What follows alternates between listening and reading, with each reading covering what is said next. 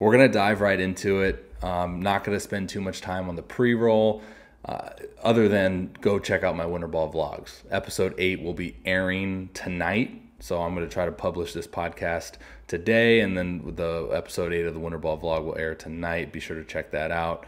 Um, and I also have screen records of all my outings. I've been getting a lot of questions regarding my outings and how things have been going and so on and so forth. You can go watch those on YouTube.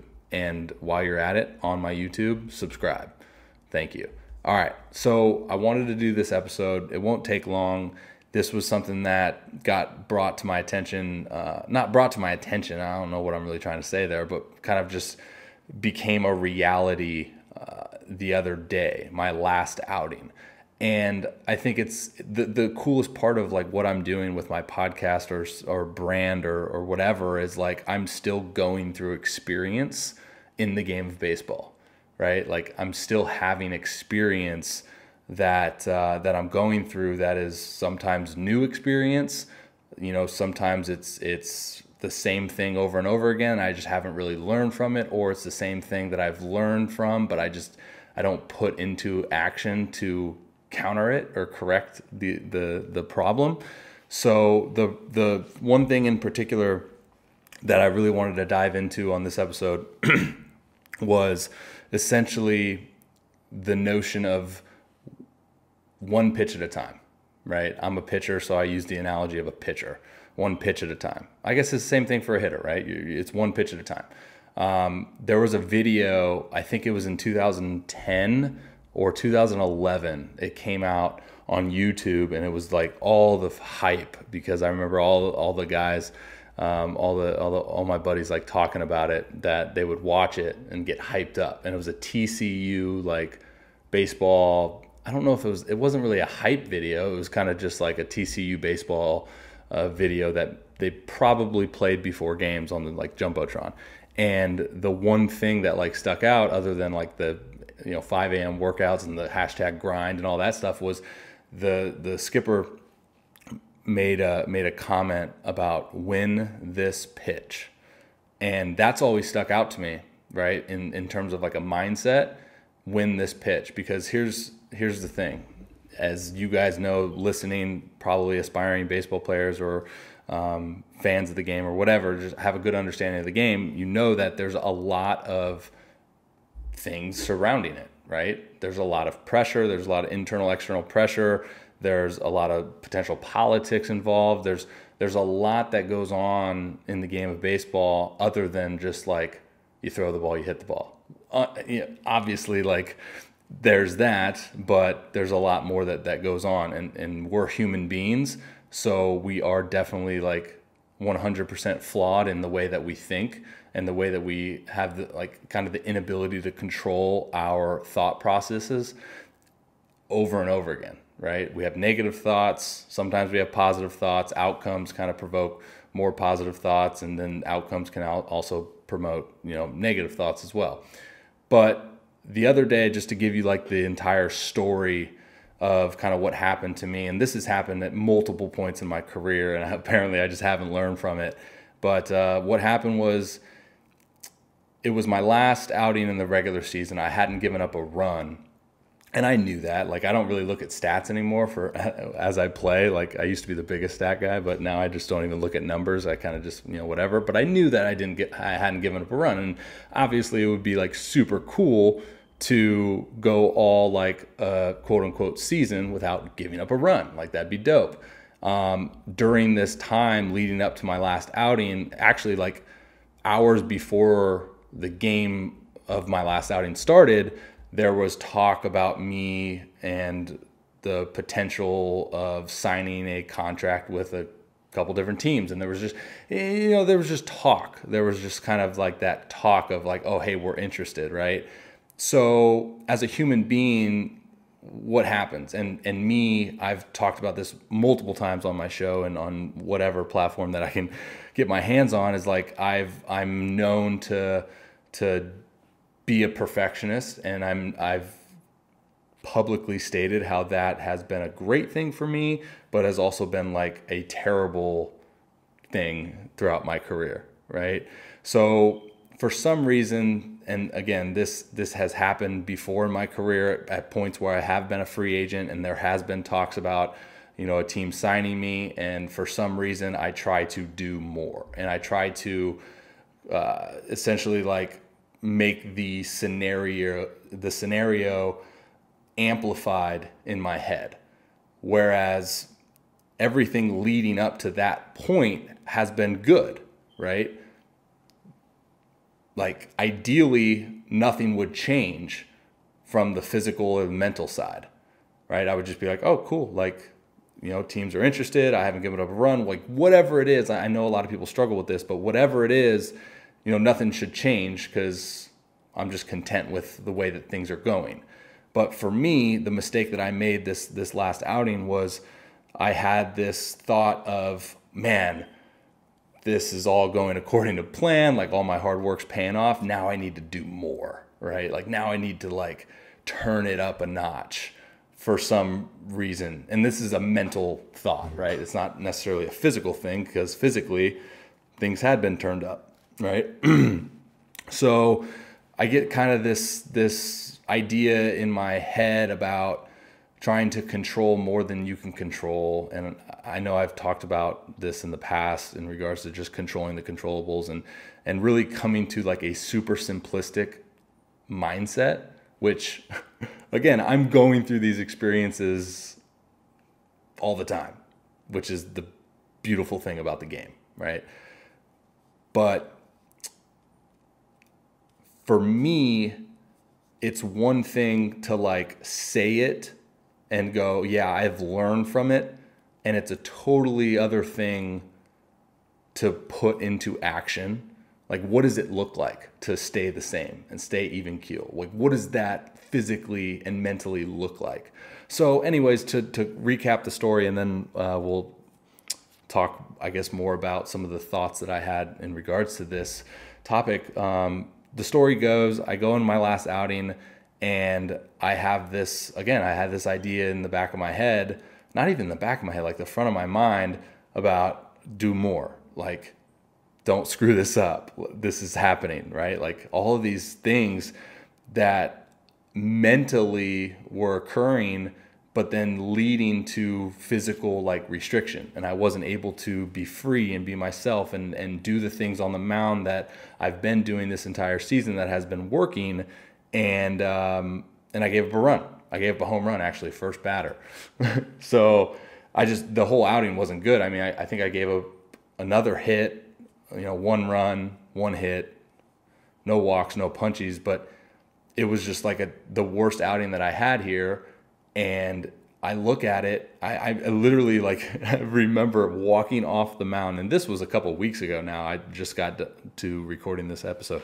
But I literally remember walking off the mound and being like, I got to talk about this. Like, I need to get this off my chest because hopefully there's someone out there that I can influence, inspire, or like reach with this. No, like, you're not alone, I guess.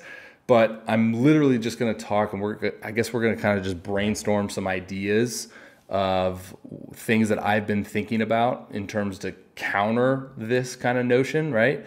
Because we all play the game. I mean, not all of us, but like I guess us at the professional level, we, we play in hopes, in dreams, and aspirations of reaching the big leagues, right? That's kind of always the goal, the end goal. Um, and we know that in order to do that, we need to consistently be good, right? To be great is just to be consistently good. And that's hard, right? Like we, we all can go out there when we're feeling good and be like one, two, three, two punchies and a six three, and we're all like, let's go, dude, this is me. But to do that day in and day out is hard, right? Because some days you don't feel good, and and then some days you know whatever. But from the mental stand, from like the mental component, that's a whole nother freaking barrier to just like be even keel the whole time. And I was thinking about it in terms of how I approach this and and how I'm going to learn from this and how I'm going to grow from this experience again because like I said I've gone through this like literally the same thing a couple different points in my career where there's been I've been a free agent, there's been teams, you know, uh, interested in, in in signing me and then like that next outing it kind of goes to crap It doesn't really go to crap, crap. Like I don't poop the pants, but you know, it doesn't go as good as I maybe would have liked, or things had been going previously leading up to that outing. And um, just kind of going off, you know, in my head and, and thinking about it was like, what do I need to do this next time this rolls around? And the first thing that pops into my mind, dude, like no joke, is I can't care that much, right? It's so easy to say this, and it's it's just another thing to do. And I think I've even said this on a couple different podcasts with like guests and talking about the greats and how like they get to a certain point where they just don't care. Like, you know, what's the worst thing that could happen, right? And I think the reason why I kind of put even more internal pressure on myself that leads to bad performance during these moments and experiences in my career um, is is just simply because I'm like so restricted due to the mindset of I have to be way better than I've been leading up to this if I want to accomplish my goal, right? Which is a terrible way of thinking it. If if I like really look at it and I break this down simply, like that's a terrible way to approach what I'm trying to accomplish cuz restriction, right? Freedom. I know firsthand experience that I just do better when I'm loose and I'm free and I'm having fun. And now, when this whole thing arises, this experience arises or arose, I guess, is that a word? In this case, um, I was, I automatically felt like that sense of restriction, right? And then all of a sudden, the game became less joyful. It became a task that I needed to do. I needed to accomplish this task, this task of having a really, really good outing to propel me into my goal of getting back in an MLB organization, right? And just that little thing there, obviously it's not like little, it's a huge goal, but just like that little piece that that that occurred drastically changed like the outcome of my outing. So I'm looking at it almost as this podcast. I hit record, I hit record on the video, and I'm literally just like venting out loud and I'm just brainstorming out loud. So you guys are, are coming along for this ride. So I appreciate you listening. but for me, like I said, man, like if I do have goals and dreams, aspirations of, of playing in the big leagues, which I, I, again, I'll say this till I'm blue in the face. Like I believe that I can do that believe that I can get hitters out. The one of the things that was said to me um, before that first outing was, you know, one of the associate, I think like big league scouting directors or whatever, asked a question to the individual that turned me in from the scouting department, and the guy asked like, "Can he get big league hitters out?" And he was like, "Absolutely." And then he told me that and then all of a sudden I get this thing in my head about, man, I need to like go prove that I can freaking do it. Like, you know, be better, be more, do more. Ah. And that's not me, right? Like, that's not me. So again, just kind of spitballing here, brainstorming. Um, kind of gonna, I know I've jumbled all through this podcast so far, um, but just to round it out, that that TCU uh, video that I mentioned, like win this pitch, right? That's the approach that I'm best at. And I think I encourage you, whoever you are, if you're a pitcher, um, you know, fielder, hitter, whatever, like win this pitch. Think about it. Like there's so many different things that we have the ability to control, right? From the work ethic and the and the the smart work smarter, not harder type thing that I talk about, reference a lot there's so many things that we can control. And then again there's so many things that, that are beyond our control right? Umpires freaking weather like all of these other things like that we don't really have a grasp on. We don't really have a control. But when it really comes down to it and this is performance based when it comes down to it man it's not about controlling uh, okay so like in the moment right? So for me on the bump facing that lead off guy that hits a homer off me it's not about trying to strike out the side while 0-0 to the first guy. right? Like I can have a game plan, but that mindset, I'm looking way too long term, right? We always talk about like looking at the big picture and setting yourself up for success for the, from the big picture standpoint, which is great. But in the moment, win this pitch. Take one pitch at a time. And I'm, I'm, I'm talking to you guys, but I'm basically talking to me. If you can do everything in your power to control the controllables and put yourself in the best possible situation to win each and every pitch, right? From the training aspect, nutrition, sleep, like all of those things that we, we talk about from the just overall development optimization standpoint. And then when it really comes down to it, man, simplify every single thing that that plays a part in performance and go, I am going to win this pitch what do I need to do to win this pitch? And then it just all of a sudden I feel like it just becomes so simple. And it's not complex because you're not up there thinking I need to strike out the side. I need to I'm going to uh, face three guys, but I need to strike out five of them. Like that's kind of sometimes, honestly, the way that I think is I'm going into outing and I I'll be, I'll be like, all right, well, if I need to pitch in the big leagues, then I definitely need to freaking have an immaculate inning here or else I'll never get the chance, right? Like that's just me being a perfectionist and I've accepted that and I've kind of over the years have learned how to deal with that, I, I guess. But um, honestly, I know this this thing take took 20 minutes to say, but for me, and hopefully I can encourage you guys with this simple this simple kind of uh, cue, notion, thought, whatever, is like win this pitch take everything else out and focus on the one pitch and the execution of that one pitch. Now, when that's done, turn the page, clean slate, back on the saddle, win this pitch, right? Just be, and there's two components, right? So you don't execute the pitch, or your hitter, you don't like you swing and miss, or whatever it is, like you fail. It's about how quickly can I then turn the page, get back on, get back into my comfort zone, happy place, whatever, clear mind, clear thought, rely on action, and then win the next one. And then say you succeed, execute a pitch, hit a missile in 1AB, come back up. How can you take that and go, okay, win this pitch, right? And not be content and keep keep finding like I guess that happy that happy zone for you.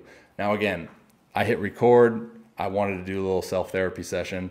This doesn't necessarily mean it's uh, it's going to work for you, or if it, you know maybe you are somebody that needs to go out to every outing and think I'm going to punch the side, or go into every game and be like I'm going to hit four homers.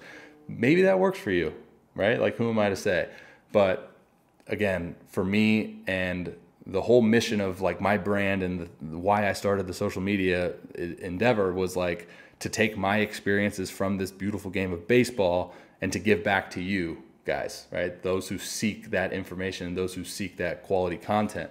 So for me to sit here and, and do all this is like, duh, of course I'm going to do it because I'm still going through these experiences in the game of baseball and I'm still learning from them. And like I said, I've learned from this in the past, but I just wasn't able to put that into action. So in closing, win this pitch, right? Like there's so many potential things that can come into our mind. There's so many potential things to potentially, whoa, think about, do X, Y, Z. But when it really comes down to it, man, like simplify performance and say, all right, all focus is on this one pitch. Let's win it. What do I got to do to win it?